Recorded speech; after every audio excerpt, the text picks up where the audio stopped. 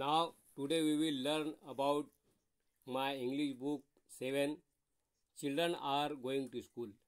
Now, translate into Urdu. 1.5 Children are going to school.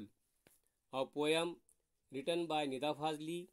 Nida Fazli was prominent Hindi and Urdu poet.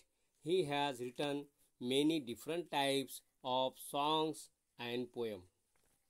लड़के school जा रहे हैं। इस नज़म के शायर निदा फाजली हैं। इन्होंने हिंदी और उर्दू में नज़में लिखी हैं और हिंदी और उर्दू में बहुत सारे गीत भी लिखे हैं। He was honoured with the national harmony award उन्हें कौमी अवार्ड भी मिल चुका है। He was awarded Padma Shri by the Indian government of India उन्हें भारत सरकार की जानब जानिब से पद्मश्री अवार्ड भी मिल चुका है।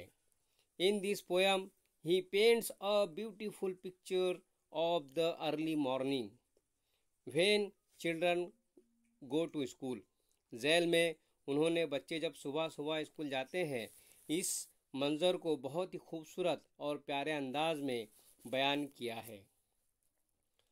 Muqtida Hasan Nida Fazli known as Nida Fazli He born 12 October 1938.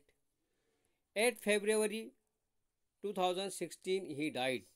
Was a prominent Indian Hindi and Urdu poet, lyricist, dialogue writer वो हिंदुस्तान के एक बहुत मशहूर शायर हैं नज़में लिखने वाले और डायलॉग लिखने वाले हैं he was awarded the Padma Shri in 2013 by the Government of India for his contribution to literature.